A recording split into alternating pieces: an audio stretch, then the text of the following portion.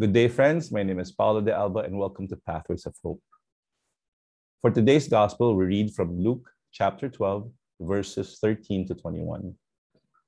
Someone in the crowd said to him, Teacher, tell my brother to divide the inheritance with me. Jesus replied, Man, who appointed me a judge or an arbiter between you? Then he said to him, Watch out, be on your guard against all kinds of greed Life does not consist in, a, in an abundance of possessions. And he told them this parable The ground of a certain rich man yielded an abundance of harvest. He thought to himself, What shall I do? I have no place to store my crops. Then he said, This is what I'll do. I will tear down my barn and build bigger ones, and there I will store my surplus grain. And I'll say to myself, You have plenty of grain laid up for many years. Take life easy, eat, drink, and be merry. But God said to him, You fool, this very night your life will be demanded from you. Then who will get what you have prepared for yourself? This is how it will be with whoever stores up things for themselves, but not rich towards God. Are you rich towards God, or are you a fool? Many times in our life, we become fools for something because we're searching for joy and happiness. We're searching for what will make us happy. I remember when I was younger, uh, what made me happy was toys. And because toys made me happy, I would do anything just to get more of them. And since I was young, I was just getting allowance from my dad. And because that allowance is not enough to, for me to buy toys, it's just enough for me to buy food in school. I would steal from my dad just to buy toys. But that didn't make me happy. In fact, it made me guilty. It made me sin. And it, did, it didn't satisfy. It, I was happy for a while, but then it made me guilty, feel guilty in my life. There's so much guilt. And then I grew up. I started working, earning my own money. I was 16 when I, was, I got my first job. And I started earning money. And I remember I was living from paycheck to paycheck because I say that because anytime I get my salary, I would spend it on anything or anything that I want just to make me happy. Still, it wasn't enough. I, I learned I, I learned how to save later on. Then I got married, had children. I said, I, I don't think I have I, I will be greedy this time because I don't even think of myself anymore. I just think of my children.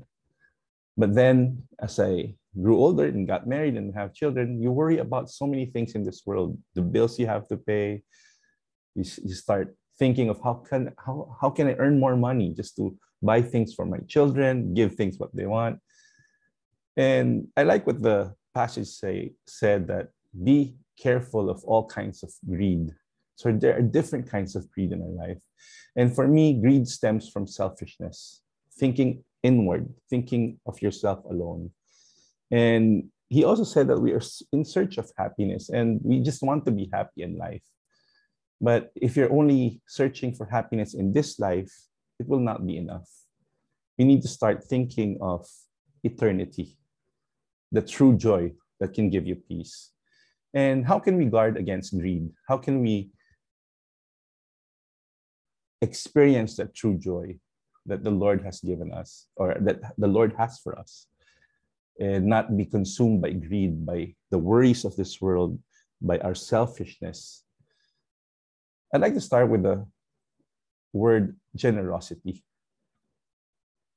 Being generous helps you get rid of greed, greed in your life. And I remember the, the happiest people I know are the most generous ones. And they're generous not because they're rich, they're generous even in their lack. Just like the story of the woman who gave her last two coins, the Lord pointed her out that in her, the least that she has, she was able to give. I remember uh, going into an immersion in a farmer's house. I brought canned goods. And for farmers here in the Philippines, canned goods are special for them because as farmers, they live off the land.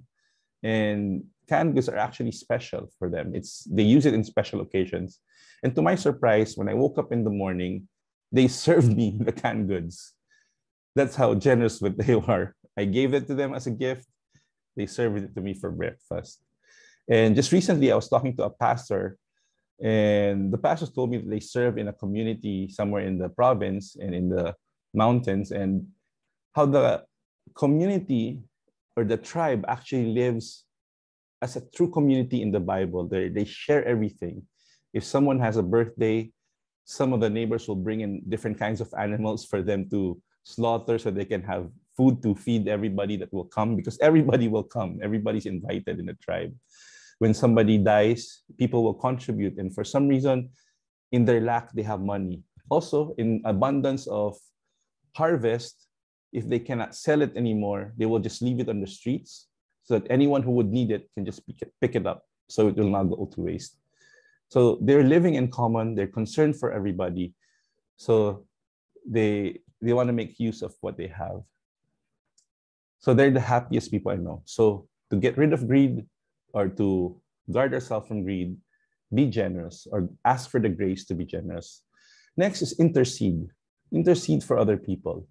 And as you intercede for other people, you get to realize their need and allow the Holy Spirit to speak to you. Maybe it's not just intercession that you can do for them, there are other things you can do for them as you intercede. Be generous with your time, talent, and treasure. And next is focus on heaven, focus on eternity. Don't just focus on this world because if you're focused on just this world, you tend to look inward. You tend, tend to be selfish and forget the commands of the Lord to love Him above all and to love your neighbor. And lastly, be thankful. Be thankful for everything that you have. Be thankful that the Lord has blessed you and that you may bless others. One of my, my favorite lines from my father in law and my mother in law is that be thankful that people are asking you for you for help, that you are able to help them as well. Be thankful for that. So, first is ask for the grace to be generous, intercede for others, focus on eternity, and thankfulness. And hopefully, the Lord will make you the gift for others to get rid of greed in this world. Have a blessed week ahead and God bless you.